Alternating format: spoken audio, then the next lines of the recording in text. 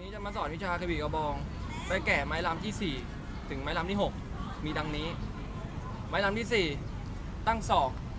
ไม้ลำที่ 5จ้วงหน้าจ้วงหลัง และไม้ลำที่ 6 ปกหน้าปกหลัง มารับชมวิธีการปฏิบัติดังนี้ ไม้ลำที่ 4 ตั้งศอก เริ่มต้นที่ท่าคุมลำ ควงกระบี่ไปด้านหน้าสองรอบก้าวเท้าซ้ายไปด้านหน้าเฉียงไปทางด้านขวาพร้อมนำกระบี่ทัดหู เท้าขวาชิดเท้าซ้าย เท้าซ้ายยก ตั้งศอกขนาดลำตัวปลายนิ้วแตะที่ปลายกระบี่ จ้วงแทงไปทางด้านซ้าย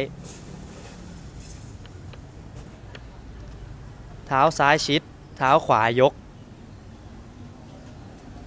ลำข้าง ควงกระบี่ไปด้านหน้าสองรอบพร้อมจบที่ท่าคุมลำ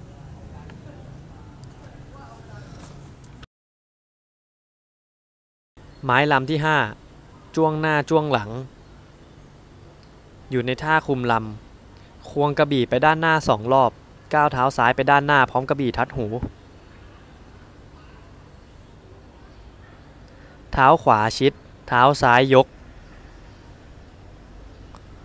จ้วงแทงไปด้านหน้า เท้าซ้ายชิด เท้าขวายก ลำหน้า เท้าขวาเหยียบลงด้านหน้า หมุนลำตัวกลับไปด้านหลัง พร้อมกระบี่ทัดหู เท้าซ้ายยก จ้วงกระบี่ไปด้านหน้า พร้อมกับเท้าซ้ายเหยียบลงด้านหลัง เท้าขวายก ลำข้าง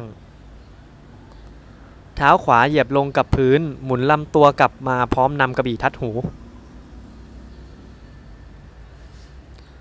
เท้าขวาชิด เท้าซ้ายยก จ้วงแทงไปด้านหน้า เท้าซ้ายชิด เท้าขวายก ลำข้าง ควงกระบี่ไปด้านหน้าสองรอบ พร้อมจบด้วยท่าคุมลำ